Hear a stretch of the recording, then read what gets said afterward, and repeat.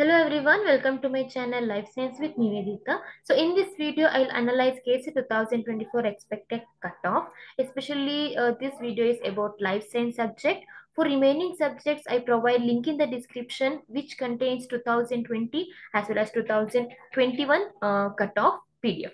Okay, so now before going to this expected cutoff part, you people get to know the difference between uh, aggregate marks and also cutoff percentage because uh, once once KEA will release the cutoff for PDF, so there it contains both cutoff percentage as well as aggregate marks. So here usually people know that is both paper 1 and paper 2 which consist of 300 marks that is 200 subject and 100 general paper.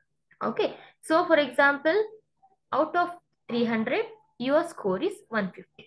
Okay. So here 150 is the scored marks, 300 is the total marks into 100 which gives rise to 50 percentage.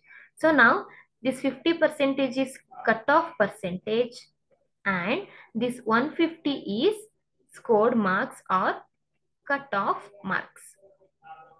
Okay, PDF contains both cutoff marks and also cutoff percentage. This is aggregate marks, this is cutoff percentage. Okay, anyhow, uh, this cutoff is based on many uh, criteria that is number of candidates appear paper level if paper is difficult uh, easy based on that also cutoff will vary from year to year okay so now uh, just have a look on this uh, cutoffs this is 2018 cutoff, 2020 cutoff, 2021 cutoff.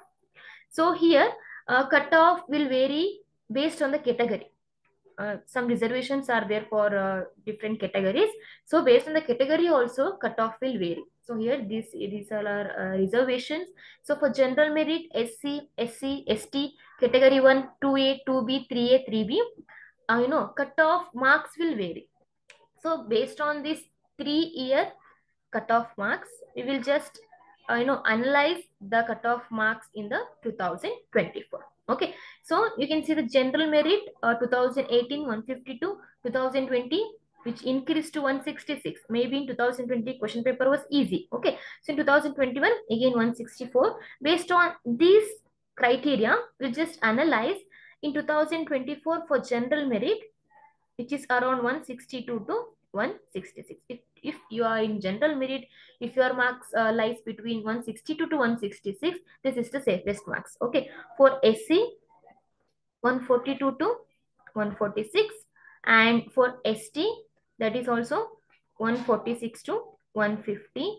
And for category 1, that is also 146 to 150. 150. Why I am carrying same marks? Because you can see in 2021, 152 2020 150 and for st also 152 category 1 also 152 sometimes marks 2 uh, 2 4 marks will vary sometimes 2 4 marks will less or more. Okay. So for 2a uh, which lies that is from 144 to 148 and for 2b that is 144 to 148 and for 3a that is 150 to 156 and for sorry 3a and for 3b 152 to 156 if your marks lies in between these uh, cutoff marks you are in the safest part. Okay? So usually for general merit and all other categories also if your marks lies between 160 to 170 if in other category if your marks lies uh, be below 150 also you will qualify based on the category. Or even 170 plus is the safest marks to qualify. That for general merit. Okay? For other categories even though your marks is less than 160 there is a chances to qualify because based on the category marks will vary. Okay? So this is how um, the cutoff uh, marks will release based on the category wise and all. So here uh, once KSET exam was done, some several steps has to be followed. Means uh, after the examination, after two to three weeks, uh, they'll release tentative key answer. After that, they'll give some time for objections. So after the objections, they'll revise the I know key answers and they release uh, final key answers. After that, they'll release cutoff. After the cutoff, only they'll release result. Okay, this is how the steps uh, will follow in the further days. So this is about the expected cutoff analysis. If you like this video, hit the like button and share to your friends and subscribe to my channel. So that's it for today's video and thank you so much for watching.